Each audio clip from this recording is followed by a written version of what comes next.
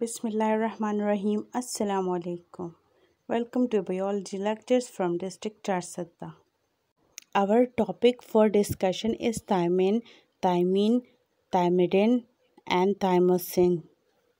तो आज हम इन चारों टर्म्स को डिस्कस करेंगे और इसके बारे में जानेंगे।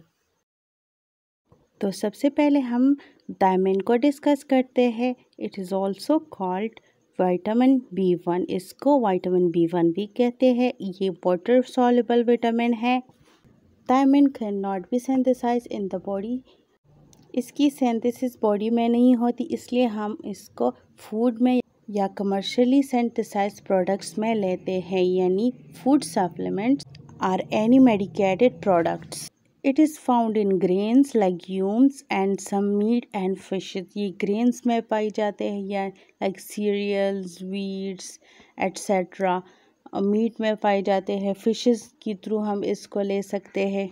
Chemical formula of thiamine is C twelve H seventeen N four O S यानी हमारे पास कार्बन का नंबर ट्वेल्व है हाइड्रोजन सेवनटीन है नाइट्रोजन फोर है oxygen one and sulphur also one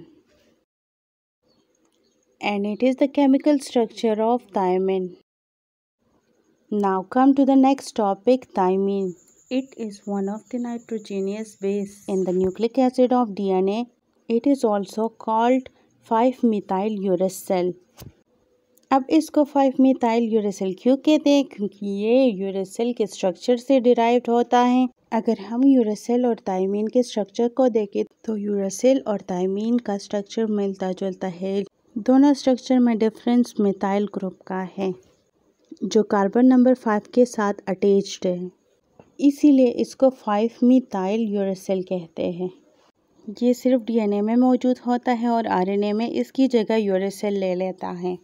इसका केमिकल फार्मूला है C five eight six and two O two यानी हमारे पास carbon five in numbers hydrogen six in number nitrogen two in number and oxygen two now come to the next topic thymidine thymidine is also called deoxythymidine ये D oxy ribose और thymine की combination से बनता है। ये naturally occurring compound है। ये सारे लिविंग ऑर्गेनिज्म और डीएनए वायरसेस में पाए जाते हैं। इसका chemical formula C ten H fourteen N two O five और ये थाइमडीन का केमिकल स्ट्रक्चर है।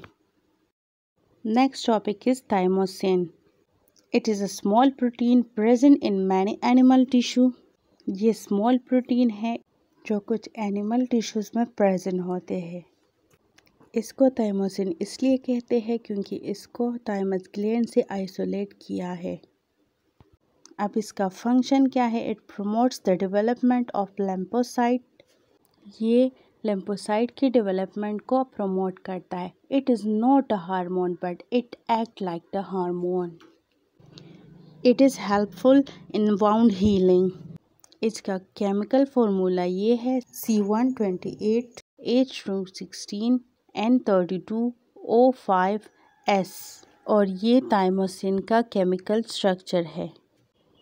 तो आज का हमारा लेक्चर ख़त्म होता है। I hope you all will understand it thank you